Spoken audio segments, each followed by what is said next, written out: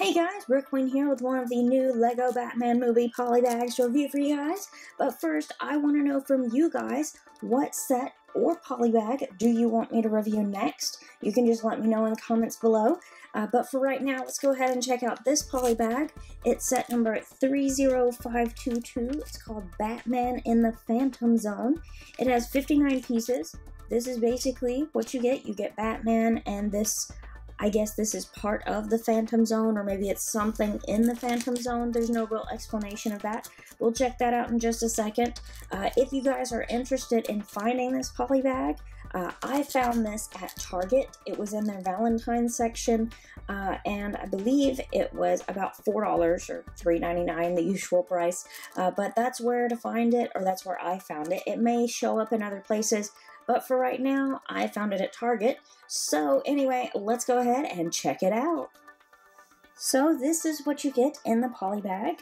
And if you're curious, you kind of slide these over. These are the extra pieces that uh, were in the bag that I got.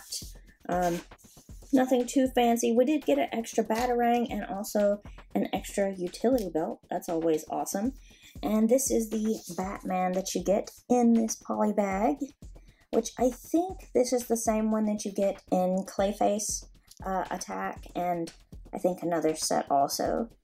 It does have the nice double-sided face there, and there's the back printing.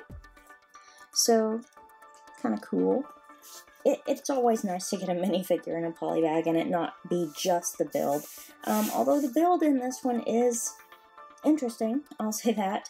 Um, if you guys are maybe ahead of the game and know what this is, let me know in the comments because the set name is just Batman in the Phantom Zone. So, like I said, I don't know if this is part of the Phantom Zone or if it's just something inside the Phantom Zone.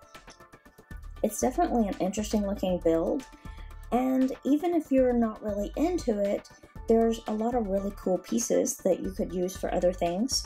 Um, it's not all that common to get the uh, dark red color like this in, well, in poly bags, really. I, I don't remember seeing a whole lot of it.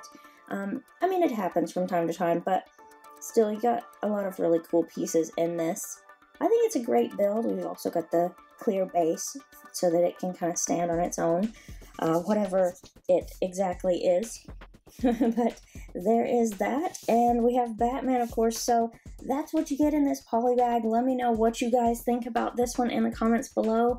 I know that there are several more uh, Lego Batman movie poly bags. I've got to find those. This is the only one I've gotten so far, uh, but I'm going to keep looking for the others, and you can expect the rest of the Batman movie set reviews to be coming very, very soon. The movie, I, if I'm not mistaken, I think the movie's less than a month away now. I'm getting kind of excited. I'm really looking forward to this movie.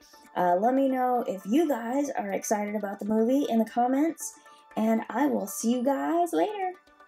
Click here to subscribe and turn on your notifications.